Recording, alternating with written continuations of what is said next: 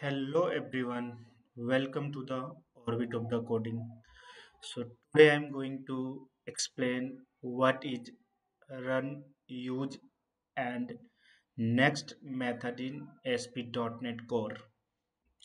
So let's flip to the Visual Studio and I will create a ASP.NET Core application from scratch and I will show you what is the use of run, use and next method. So i have already opened the visual studio. Then i'm going to create a new project. So you can select that uh, create new project. After that here you need to select ASP.NET core web application and click next. Then you can put the name of the project. So i'm going to explain middleware ASP.NET core create the application. So here you have two options the select empty or web applications api but i'm going to select the empty application as of now. So i just click on create select empty and click on create. It will take few seconds to create the project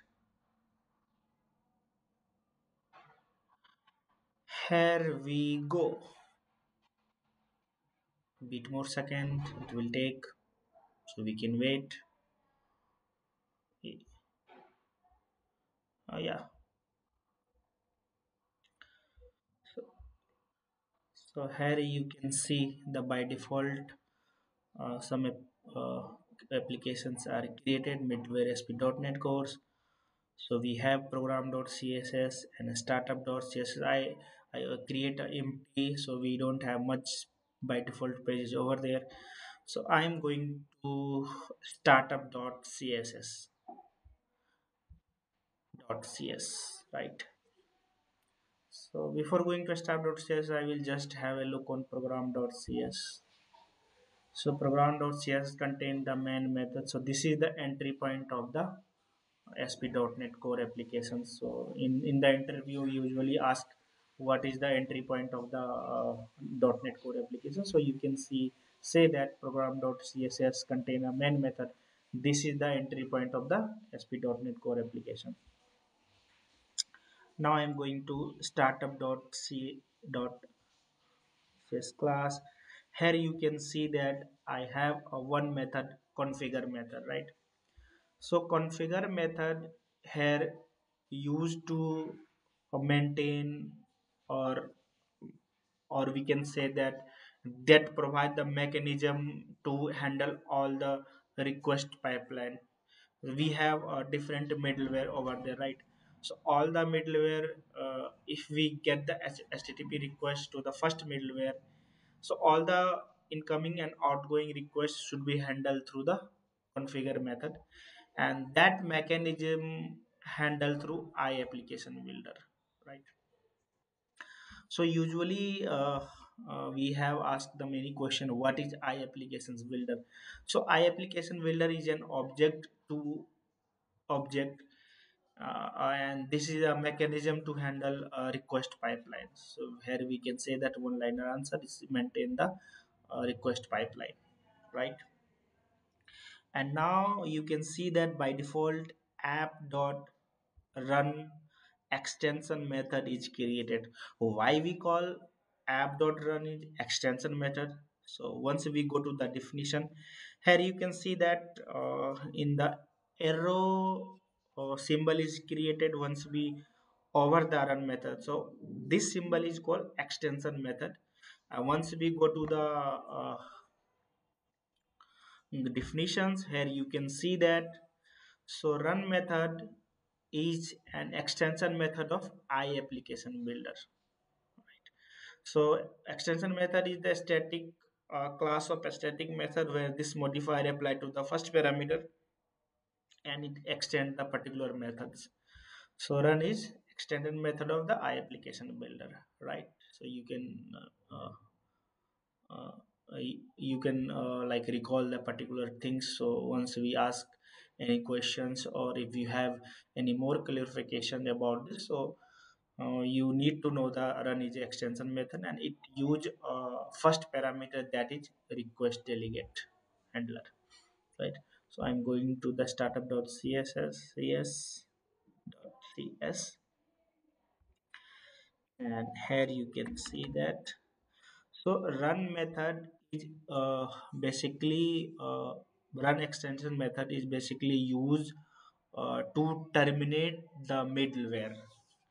Terminate the middleware means it like if we use uh, run run middleware where like run extension method then it's not going to the next middleware. It's supposed to terminate the middleware as of now and it's going to know to perform the next request pipeline. So we have a multiple request pipeline. So if we use app.run then it's not going to the next pipeline.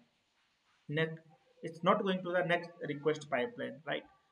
So i'm just uh, going to see you. Just i'm going to execute that particular method and let's see what happening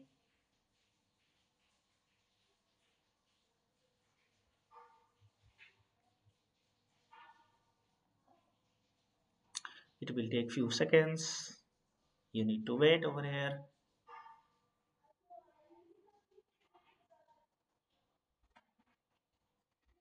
So it's uh, potentially security risk ahead. So i'm going to the advance.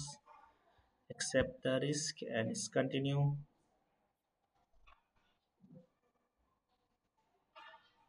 Here you can see that it's hello world uh, it is printed right so I now I am going to create a next run method. Just copy the things and paste it over here. And hello met hello world 2 right so now we have two middleware middleware 1 and middleware 2 and once we execute the particular request then here you can see the result. So by by default uh, like one run method one middleware is executed in our .NET applic core application is by default. Either we can use use run any one uh, middleware is executed by default. So now here I, uh, I can use a two middleware using run extension method middleware 1 middleware 2 and now I'm going to see the expected result over here.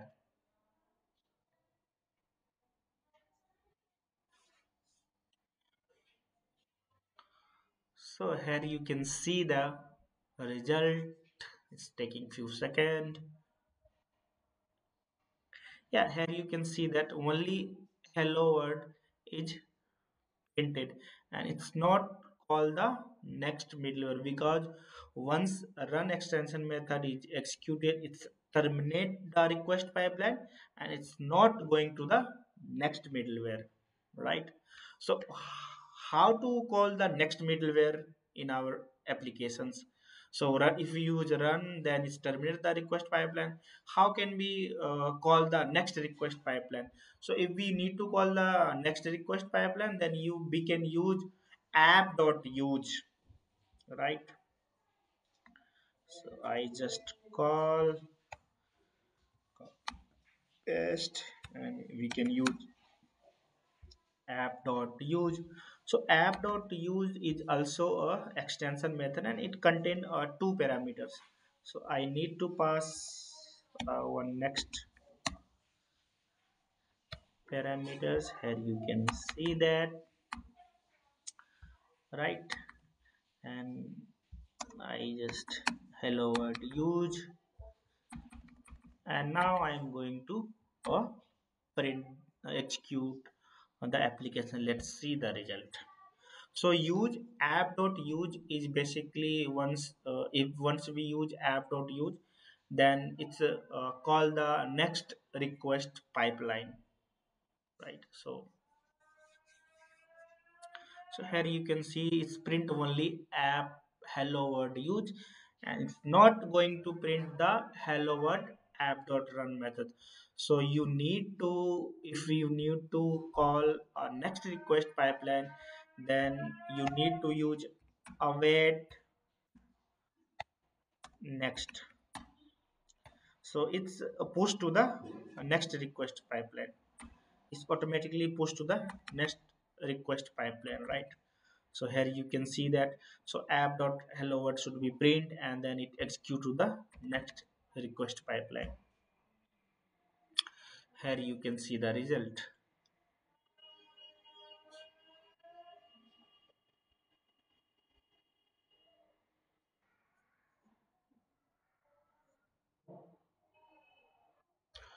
So now you can see hello world use and hello world 2 uh, middleware uh, is uh, printed as of now.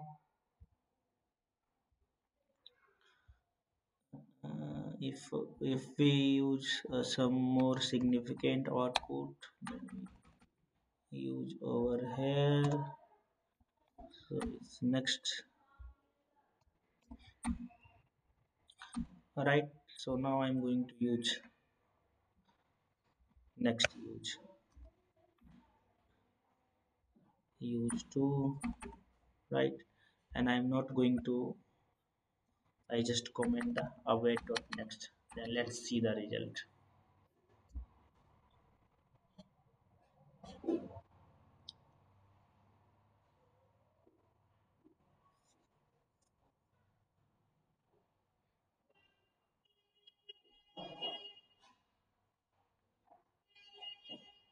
It will take few seconds so here you can see that. It print hello world and hello world used to but it will not going to call uh, next middleware. So slash and I will try to add uh, a space uh, add new line over here but this new line is not working as well. So we can skip as of now. So once we use await dot next then it call the three middleware.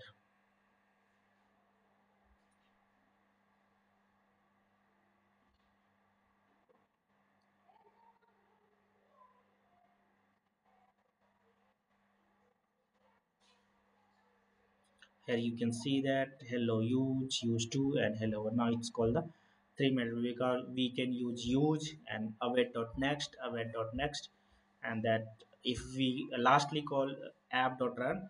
And once app dot run is called and it's uh, accidentally terminate the re request pipeline and it's not going to the next request. So once we are more explain about pictorial diagram here you can see that so middleware 1 middleware 2 middleware 3 i can get the request it's modify the request and if we go to the next so it's going to the next middleware also it modify the some request and it's going to the next middleware and after that it's a response back to the requesters.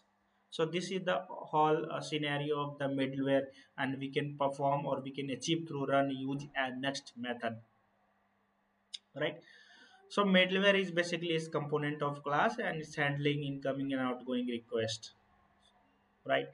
And if i use to summarize all the applications so app dot run is terminate the request and if we use app dot use then it's going to the next request. And if we use app await next it's call to the next request pipeline. So this is the summary of that uh, .NET Core uh, app use and next extension methods. So if you have any query also uh, like uh, similarly uh, use is extension method.